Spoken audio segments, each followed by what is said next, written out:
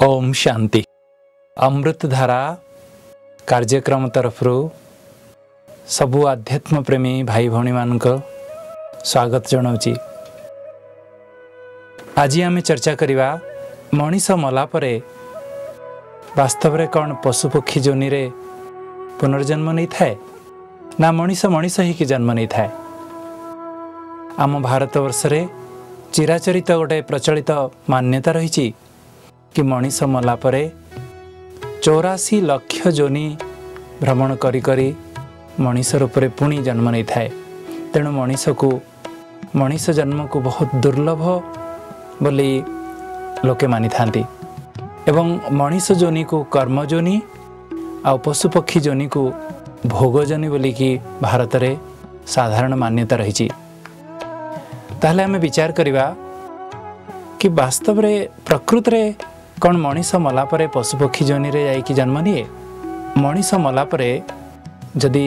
पशुपक्षी जोनि रूप से जन्म निए कई समस्ते मानती कि मनीष जदि पापकर्म कै ସେ ଚଉରାଶୀ ଲକ୍ଷ ଯୋନି ବୁଲି ବୁଲି ବୁଲି ବୁଲି ସବୁ ପାପର ଦଣ୍ଡ ଭୋଗିଥାଏ ଏବଂ ପୁଣି ଥରେ ମଣିଷ ଯୋନିରେ ଜନ୍ମ ନେବା ପାଇଁ ତାକୁ ଅବସର ମିଳେ ପ୍ରଥମରେ ଚିନ୍ତା କରିବା ଦରକାର କି ବାସ୍ତବରେ ଯେଉଁ ଚଉରାଶୀ ଲକ୍ଷ ଯୋନି ବୋଲି କୁହାଯାଇଛି କି ଚଉରାଶୀ ଲକ୍ଷ ଯୋନି କ'ଣ ଯେଉଁମାନେ ବି ମାନୁଛନ୍ତି କି ମଣିଷ ଚଉରାଶୀ ଲକ୍ଷ ଯୋନିରେ ଭ୍ରମଣ କରେ ତାଙ୍କୁ ଯଦି ପଚରାଯାଏ कि चौराशी लक्ष लक्ष जोनी जोनी କ'ଣ କ'ଣ କ'ଣ କହିପାରିବେ ମୁଁ ଆପଣଙ୍କୁ ପ୍ରଶ୍ନ କରୁଛି କ'ଣ ଆପଣମାନେ ଜାଣିଛନ୍ତି କୁହନ୍ତୁ ଚଉରାଶୀ ଲକ୍ଷ ଯୋନି କ'ଣ କ'ଣ ଯେମିତି ମଣିଷ ଯୋନି ଗୋଟିଏ ସେମିତି ଆପଣ ପଶୁପକ୍ଷୀମାନଙ୍କ ଯୋନି ଅନେକ ଅଛି କିନ୍ତୁ ଚଉରାଶୀ ଲକ୍ଷ ଭେରାଇଟି ଯୋନି କ'ଣ କ'ଣ କହିପାରିବେ ମୁଁ ଭାବୁଛି କେହି ବି କହିପାରିବେନି କହିପାରିବେ କ'ଣ ଦେଖିବା ଭାରତବର୍ଷର ପୁରାଣ ଶାସ୍ତ୍ରରେ ବର୍ଣ୍ଣନା ଅଛି चौराशी लक्ष जनी कौन कौन वास्तव में लिखाई पुराण रे कि नौ लक्ष जलचर अर्थात पा भितर जिते सब रही से सब नौ लक्ष प्रकार भेर नौ लक्ष जोनी जलचर दस लक्ष पक्षी आकाशे जो आम पक्षी देखु से सब दस लक्ष भेर अच्छा दस लक्ष स्पेसीज़ दस लक्ष जी पक्षी त नलक्ष जस लक्ष पक्षी एघार कृमी जो अनेक प्रकार वर्मस अहिले जिनते earthworm round worm pin worm हुर्म अनेक प्रकार जो कृमि अहिले समाज सबै एघार लक्ष भेर कि लक्ष स्थावर तिस लक्ष पशु ଏବଂ ଚାର ଲକ୍ଷ ମଣିଷ ଯୋନି ଏମିତି ଭାରତବର୍ଷରେ ଚଉରାଶୀ ଲକ୍ଷ ନଅ ଦଶ ଏଗାର କୋଡ଼ିଏ ତିରିଶ ଆଉ ଚାର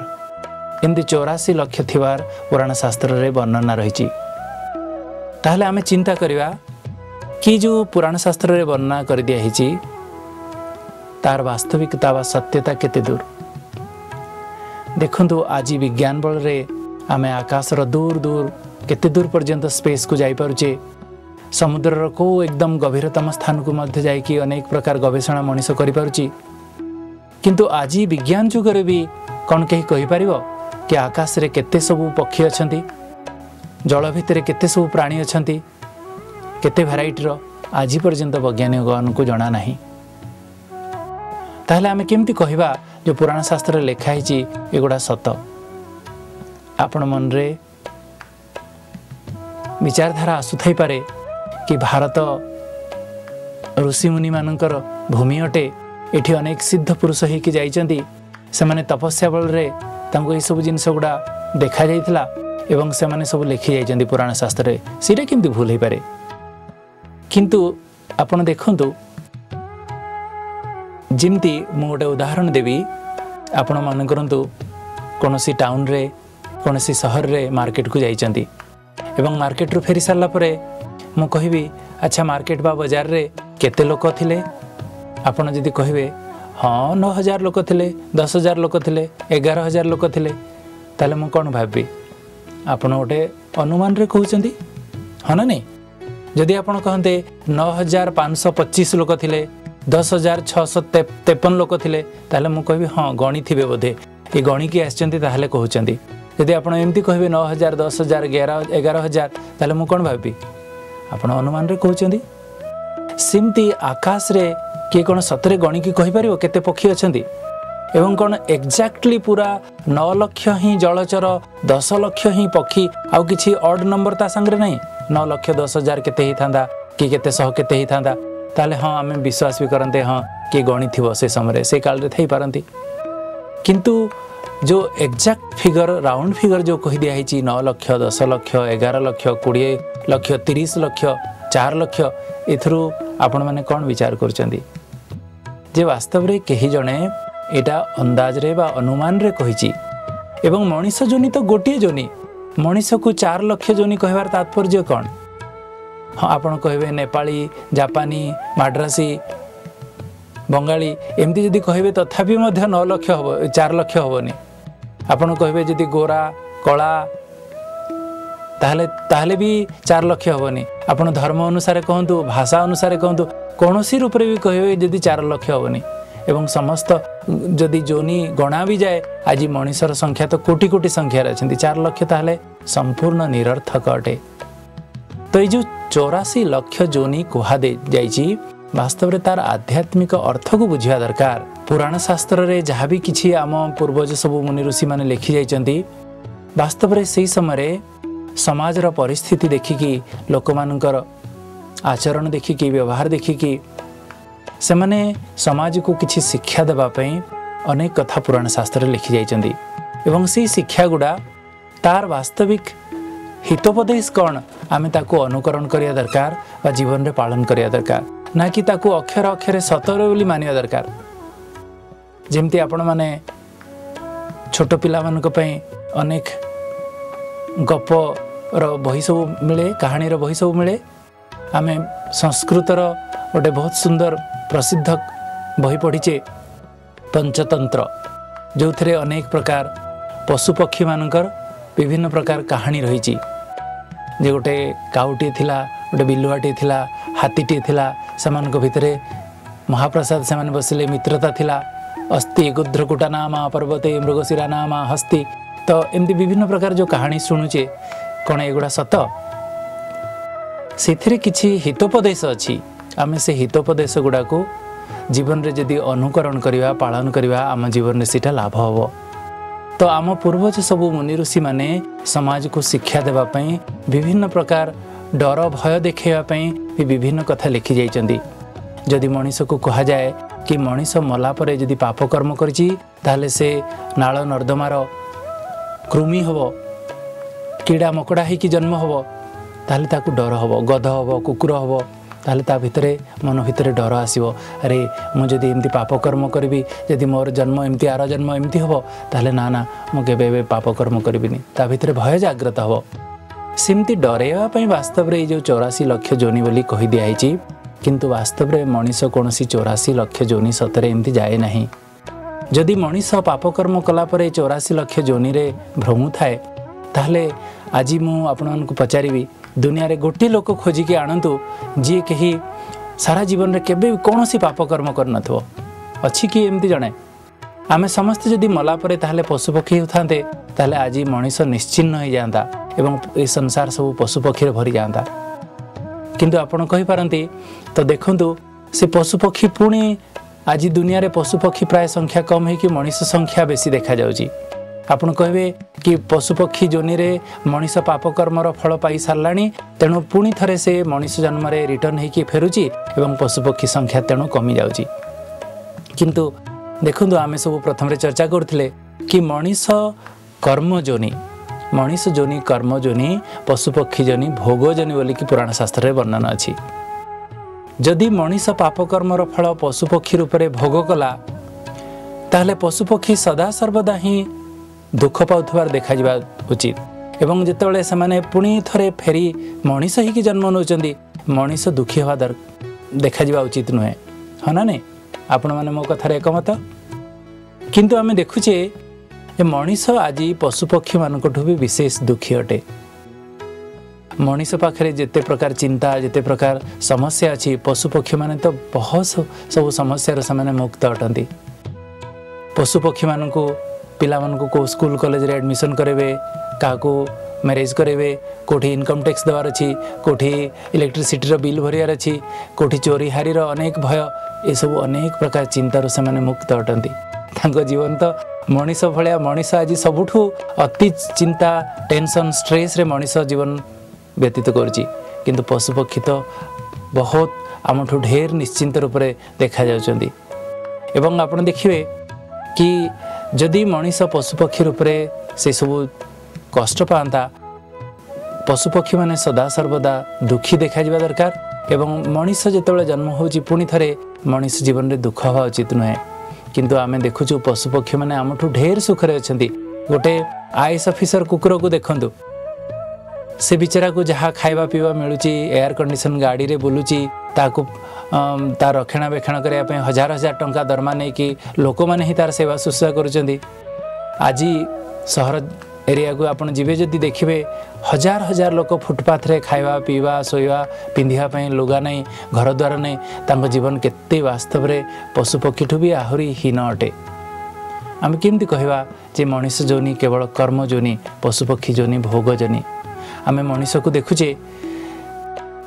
ଗୋଟେ ଲୋକ ଆପଣ ଦେଖିଥିବେ କଲିକତା ସାଇଡ଼୍ରେ ଯେତେବେଳେ ଯାଇଥିବେ ସେଠି ଯେଉଁ ରିକ୍ସା ଗୁଡ଼ା ଦେଖୁଛନ୍ତି ଆପଣ ଦେଖିବେ ଯେମିତି ଗଧ ବା ଓଟୋ ଗାଡ଼ି ବା ବଳଦ ଗାଡ଼ି ଘୋଡ଼ା ଗାଡ଼ି ଯେମିତି ଥାଏ ସେମିତି ରିକ୍ସା ଗୁଡ଼ାରେ ମଣିଷ ବସିଥାନ୍ତି ଏବଂ ମଣିଷ ହିଁ ତାକୁ ଟାଣୁଥାଏ ସକାଳୁ ସନ୍ଧ୍ୟା ପର୍ଯ୍ୟନ୍ତ ଟାଣି ଟାଣି ତୁ ଶହେ ଦୁଇଶହ ଟଙ୍କା କମେଇବ ବିଚାର ତାର ପରିବାର ପୋଷଣ କରିବ ତା ଜୀବନକୁ ଯଦି ଅନୁଧ୍ୟାନ କରିବେ ଦେଖିବେ ତାହେଲେ ତା ଜୀବନ ଗୋଟେ ପଶୁ ଗୋଟେ ଗଧ ବା ଗୋଟେ ଘୋଡ଼ା ବା ଗୋଟେ ଓଟ ତୁଳନାରେ କେଉଁ ଗୁଣରେ ଶ୍ରେଷ୍ଠ ଅଟେ କୁହନ୍ତୁ ଦେଖିବା କାହାର ଗୋଡ଼ଟିଏ କଟିଯାଉଛି ଏକ୍ସିଡେଣ୍ଟରେ ଦୁଇଟା ଆଶାବାଡ଼ି ନେଇକି ଚାଲୁଛି ତାର କ'ଣ ଚାରିଟା ଗୋଡ଼ ପଶୁ ଭଳିଆ ହେଇଗଲାନି ତ ଆଜି ମଣିଷର ଜୀବନ ଯଦି ଦେଖିବେ ପଶୁପକ୍ଷୀମାନଙ୍କ ଜୀବନ ଯଦି ସହିତ ତୁଳନା କରାଯାଏ ଆଜି ତ ମଣିଷ ବେଶୀ ଦୁଃଖୀ ଦେଖାଯାଉଛି ଏବଂ ମଣିଷକୁ ବାସ୍ତବରେ ଯଦି କିଛି ପନିସମେଣ୍ଟ ଦିଆଯାଏ ମଣିଷ ଜୀବନରେ ମଣିଷର ରିଏଲାଇଜେସନ୍ ହୁଏ ଏବଂ ସେ ତା ଜୀବନରେ ସେ ପରିବର୍ତ୍ତନ କରିକି ପାପକର୍ମରୁ ବଞ୍ଚିତ ହୋଇପାରେ କିନ୍ତୁ ମଣିଷକୁ ତାର ଭୁଲ କର୍ମର ଦଣ୍ଡ ଦେବା ପାଇଁ ଯଦି ତାକୁ ପଶୁପକ୍ଷୀ ରୂପରେ ଜନ୍ମ ଦିଆଯାଏ ତା ପାଖକୁ ରିଏଲାଇଜେସନ୍ କେମିତି ଆସିବ ଯେମିତି ଗୋଟେ ଉଦାହରଣ ମୁଁ କହିବି ଜଣେ ଲୋକ ଯଦି ପାପକର୍ମ କରୁଛି ଆଗାମୀ ଜନ୍ମରେ ସେ ଯଦି ଗଧଟିଏ ହେଇକି ଜନ୍ମ ନେଉଛି ଦେଖନ୍ତୁ ଗଧର ରିଏଲାଇଜେସନ୍ ଗୋଟେ ମଣିଷର ରିଏଲାଇଜେସନ୍ଠୁ ଅତି ନ୍ୟୁନତମ ଗଧଟିଏକୁ ଯଦି ପୁରା ବଜାର ଭିତରେ ବି ଯଦି ତାକୁ ଦୁଇ ପାହାର ପକାଉଛନ୍ତି ତା ଜୀବନରେ ଲଜା ମହତ ଆଦି କିଛି ଜିନିଷ ନାହିଁ ଆଜି କୌଣସି ମଣିଷଟିକୁ ଯଦି ଆମେ ଦୁଇ ପଦ କଥା କହିଦେଉଛେ ଲୋକ ଆତ୍ମହତ୍ୟା କରି ପକାଉଛନ୍ତି ତେଣୁ ମଣିଷକୁ ମଣିଷ ରୂପରେ ଯଦି ଦଣ୍ଡ ମିଳିବ କଷ୍ଟ ମିଳିବ ସେ ରିଏଲାଇଜେସନ୍ କରିବ ଯେ ମୋ ପାପକର୍ମର ଫଳ ମୁଁ ଏହା ପାଉଛି ଏବଂ ସେ ଜୀବନରେ ପରିବର୍ତ୍ତନ ହେବ ଯଦି ପଶୁପକ୍ଷୀ ରୂପରେ ତାକୁ ଯଦି କଷ୍ଟ ଦିଆଯାଏ ସଜା ଦିଆଯାଏ ଦଣ୍ଡ ଦିଆଯାଏ ତା ଜୀବନରେ ପରିବର୍ତ୍ତନ ସମ୍ଭବ ନୁହେଁ ତେଣୁ ଆଜି ବାସ୍ତବରେ ମନୋବୈଜ୍ଞାନିକମାନେ ବି ମାନୁଛନ୍ତି କି ମଣିଷକୁ ପରିବର୍ତ୍ତନ କରିବା ପାଇଁ ତାକୁ ପନିସମେଣ୍ଟ ଦ୍ୱାରା ପରିବର୍ତ୍ତନ କରାଯାଇପାରିବ ନାହିଁ ମଣିଷର ପରିବର୍ତ୍ତନ ବାସ୍ତବରେ ଜ୍ଞାନ ସତ୍ସଙ୍ଗ ମାଧ୍ୟମରେ ହୋଇଥାଏ ତେଣୁ ଦେଖନ୍ତୁ ଜଣେ ଲୋକ ଯେତେବେଳେ ଚୋରି କରୁଛି ସେ ଯେତେବେଳେ ଜେଲଖାନାକୁ ଯାଉଛି ତା'ର ସମସ୍ତେ ସମ୍ବନ୍ଧୀ ମିତ୍ର ସମସ୍ତେ ତାକୁ ଜେଲଖାନା କେମିତି ନଯାଉ ସେଥିପାଇଁ ପାରୁ ପର୍ଯ୍ୟନ୍ତ ଚେଷ୍ଟା କରନ୍ତି যেহেতু সেমানে জানিছন্তি যে জেলখানাকু গলে জেল দণ্ড ভোগিলা পরে তা জীবনে কিছু সুধার হবনি জনে সাধারণ চোর যেতবে দুই চার বর্ষ জেল দণ্ড ভোগিকি ফেরুচি সেই জেলখানা ভিতরে পক্কা ଡକାୟତମାନଙ୍କ ଗହଣରେ ସେ ଆହୁରି ଗୋଟେ ଚୋରରୁ ଡକାୟତ ହେଇକି ବାହାରିକି ଆସିବ ସେଠି ତା ଜୀବନରେ ପରିବର୍ତ୍ତନ ହେବାର କିଛି ମାର୍ଜିନ୍ ହିଁ ନାହିଁ ତେଣୁ ମନୋବୈଜ୍ଞାନିକମାନେ ବି ମାନୁଛନ୍ତି କି ମଣିଷକୁ ପନିସମେଣ୍ଟ ଦେଇକି ପରିବର୍ତ୍ତନ କରାଯାଇପାରେନି ତେଣୁ ବାସ୍ତବରେ ମଣିଷ ମଣିଷ ଯୋନିରେ ହିଁ ଜନ୍ମ ନିଏ ଆଉ ତା ପାପକର୍ମର ଫଳ ଯଦି ମଣିଷ ରୂପରେ ହିଁ ରହିକି ଭୋଗେ ତା ଜୀବନରେ ରିଏଲାଇଜେସନ୍ ହେଇପାରେ ପରିବର୍ତ୍ତନ ହେଇପାରେ ତେଣୁ ମଣିଷ ବାସ୍ତବରେ ପଶୁପକ୍ଷୀ ଯୋନିରେ ଯାଏନି ମଣିଷ ମଲା ପରେ ମଣିଷ ରୂପରେ ହିଁ ଜନ୍ମ ନେଇଥାଏ ମଣିଷର ଭାଗ୍ୟ ପରିବର୍ତ୍ତନ ହୋଇଯାଏ ଯୋନି ପରିବର୍ତ୍ତନ ହୁଏନି ତା ବୁଦ୍ଧିର ପରିବର୍ତ୍ତନ ହୋଇଯାଏ ତା ଚେହେରା ତା ବା ତା ଶରୀରର କିଛି ପରିବର୍ତ୍ତନ ହୁଏନି ହିନ୍ଦୀରେ କହନ୍ତି କି ତା ଅକଲର ପରିବର୍ତ୍ତନ ହେଇଯିବ କିନ୍ତୁ ସକଲର ପରିବର୍ତ୍ତନ ହେବନି ତେଣୁ ଦେଖନ୍ତୁ ଏଇଟା ତ ଗୋଟେ ଖୁସଖବରି କହିବି ବା ଗୋଟେ ଶୁଭ ଖବର କହିବି କି ଆମେ ମରିଗଲା ପରେ ପଶୁପକ୍ଷୀ ରୂପରେ ଜନ୍ମ ନେଉନୁ ଯେମିତି ମଞ୍ଜିଟିଏ ବୁଣି ଆମେ ଯେତେବେଳେ ମାଟି ତଳରେ ପୋତି ଦେଉଛେ ଯେଉଁ ମଞ୍ଜି ପୋତିଥିବା ସେଇ ଗଛ ହିଁ ଜନ୍ମ ହେଉଛି ଗୋଟେ ଆମ୍ବ ମଞ୍ଜିରୁ ଆମ୍ବ ଗଛ ହିଁ ଜନ୍ମ ହୁଏ ପଣସ ଗଛ ମଞ୍ଜିରୁ ପଣସ ଗଛ ହିଁ ଜନ୍ମ ହୁଏ ସେମିତି ମଣିଷର ଆତ୍ମା ପଶୁପକ୍ଷୀମାନଙ୍କ ଆତ୍ମାଠୁ ଶ୍ରେଷ୍ଠ ଅଟେ ମଣିଷ ଆତ୍ମାରୁ ମଣିଷ ହିଁ ଜନ୍ମ ହୁଏ ପଶୁପକ୍ଷୀ ରୂପରେ ନୁହେଁ ଯଦି ଆମେ ମରିଗଲା ପରେ ପଶୁପକ୍ଷୀ ରୂପରେ ଜନ୍ମ ନିଅନ୍ତେ ବାସ୍ତବରେ ଯେଉଁ ସଂସ୍କାର ସେଗୁଡ଼ା ସବୁ ଯେଉଁ ଆସନ୍ତା ଜନ୍ମକୁ ଯାଉଛି ସେଇଟା କେମିତି ହେବ ଯଦି ମନେକର ମଣିଷଟିଏ ଦେଖନ୍ତୁ ଗୋଟେ ଛୋଟ କୁକୁଡ଼ାଟିଏ ହେଇକି ଜନ୍ମ ହୁଅନ୍ତା ଆପଣ ଦେଖିଥିବେ କୁକୁଡ଼ାମାନଙ୍କ ଛୋଟ ଛୁଆ ଯେମିତି ଅଣ୍ଡାରୁ ବାହାରନ୍ତି ହଠାତ୍ ହିଁ ସେମାନେ ତା ମାଆ ସାଙ୍ଗରେ ଚରି ବୁଲିବା ଶିଖନ୍ତି ତାକୁ କେହି ଟ୍ରେନିଂ ଦିଅନ୍ତିନି ହଠାତ୍ ଚରି ବୁଲିବା ଆରମ୍ଭ କରିଦିଅନ୍ତି ଗୋଟେ ଗାଈର ବାଛୁରୀ ଜନ୍ମ ହେଲା କ୍ଷଣି ତାକୁ ମାଆ ପହ୍ନାରୁ କ୍ଷୀର ପିଇବା କେହି ଟ୍ରେନିଂ ଦିଏନି ହଠାତ୍ ହିଁ ସେ ଆରମ୍ଭ କରିଦିଆ କରିଦେଇଥାଏ ତା ପୂର୍ବଜନ୍ମର ସଂସ୍କାର ସେମିତି ମଣିଷ ଭିତରେ ବି ମଣିଷ ଜୀବନର ସଂସ୍କାର ସବୁ ଆମେ ଛୋଟବେଳରୁ ଦେଖୁଛେ ଛୋଟ ଛୋଟ ପିଲାଗୁଡ଼ା ଯାହାକୁ କେବେ कौन से ट्रेनिंग देना किए बहुत सुंदर म्यूजिक बजाऊँच किए बहुत सुंदर गीत गाँच अनेक छोट छोट पा तो गीतार अनेक अध्याय कंठस्थ कर आराम अनर्गल से मैंने श्लोक उच्चारण करमती बास्तव में मनीष मनीष रूप से जन्म नहीं थाए तार संस्कार तार स्वभाव से आग जन्म को जाए सेमती पशुपक्षी मैंने पशुपक्षी जोनि ही जन्म नहीं था आज तो वैज्ञानिक मैंने यह भी प्रमाण कर सारे कि पशुपक्षी मैंने पशुपक्षी रूप से ही जन्म नि एवं जो आम पुनर्जन्म कथा खबर कागज रे अनेक प्रकार आम शुणुचे आज पर्यटन कहीं जड़े भी कहीने कि मु पूर्वजन्म मोर कोठी कोठी गोरु बा गाई कोठी छेली मेढा होकर जन्म होती कोठी मछ कईछ हो जन्म होती कहीं कही ना कौटी कोई खबरकगज पढ़ी नए शुणी कभी कौटी कहीं कही ना एवं जो सम्मोहन प्रक्रिया जहाँ को आम हिप्नोटिक रिग्रेसन कहचु ताद्वारा भी देखाई जे मनीष को पूर्व जन्म ता पूर्व ता पूर्व को एमती नहीं कि देखाई से कौ जन्म भी से कौन पशुपक्षी जोनि जन्म नहीं मनीष रूप से ही जन्म नहीं प्रख्यात मनोवैज्ञानिक डक्टर रेमंड मुडी आमेरिकार प्रसिद्ध मनोवैज्ञानिक से वास्तव में अनेक गवेषणा पुनर्जन्म उपर कर देखिं मनीष मनीष रूप से ही जन्म नहीं এবং এটা তো গোটে বহুত সুন্দর শুভ খবর স্বয়ং পরমাত্মা যে মনিষ মানকর হিতাকাঙ্ক্ষী হিতৈষী পরমপিতা সে আসিকি আমাকে কুমার হে মনুষ্য আত্মায়ে কিন্তু তুমি সবু ଦିବ୍ୟ ଗୁଣ ସମ୍ପନ୍ନ ମନୁଷ୍ୟ ଥିଲ ଯାହାକୁ ଦେବାତ୍ମା କୁହାଯାଏ ତମେ ସବୁ ପୁନର୍ଜନ୍ମ ନେଇ ନେଇ ପାପକର୍ମ କରି କରି ଆଜି ପାପାତ୍ମା ହେଇସାରିଛ ମୁଁ ପତିତ ହେଇସାରିଛ ମୁଁ ପୁଣି ଥରେ ଆପଣମାନଙ୍କୁ ଦେବାତ୍ମା ବନାଇବା ପାଇଁ ଆସିଛି ତେଣୁ ଶିବଙ୍କୁ ଦେବେଶ୍ୱର କୁହାଯାଏ ତ ଏଇଟା ତ ଆମ ପାଇଁ ଗୋଟେ ଶୁଭ ଖବର କି ମଣିଷ ମଲା ପରେ ମଣିଷ ରୂପରେ ହିଁ ଜନ୍ମ ନିଏ ନା କି ପଶୁପକ୍ଷୀ ଯୋନିରେ ଜନ୍ମ ନେଇଥାଏ ହଁ ନା ନାଇଁ ତେଣୁ ସମସ୍ତେ ଖୁସି ହେବା ଦରକାର କି ଆମେ ସମସ୍ତେ ଆସନ୍ତା ଜନ୍ମରେ ବି ମଣିଷ ହେବା କିନ୍ତୁ ଆମେ ଯଦି ପୁଣ୍ୟକର୍ମ କରିବା ଶ୍ରେଷ୍ଠ କର୍ମ କରିବା ପରମାତ୍ମାଙ୍କ ଶିକ୍ଷା ଅନୁସାରେ ଜୀବନରେ ଚାଲିବା ତାହେଲେ ଆମେ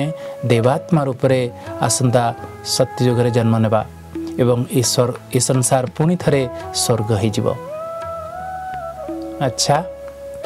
Om Shanti